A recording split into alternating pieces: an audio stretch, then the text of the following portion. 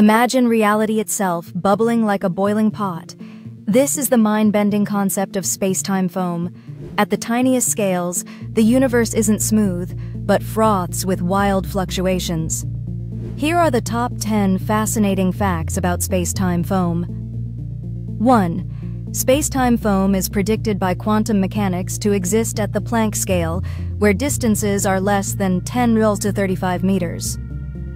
2. It was first proposed by physicist John Wheeler in 1955 as a way to describe the turbulent nature of quantum gravity.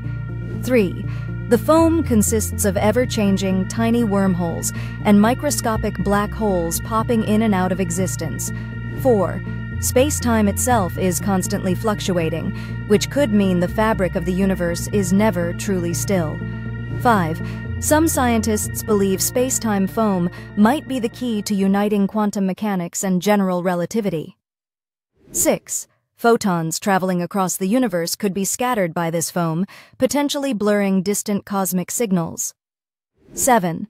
Experiments like those using gamma-ray bursts are searching for evidence of space-time foam's effects.